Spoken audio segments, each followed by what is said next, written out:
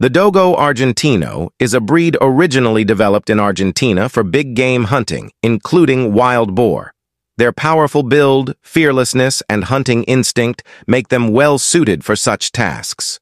When trained properly, they can effectively confront and subdue wild boars using their strength, agility, and tenacity.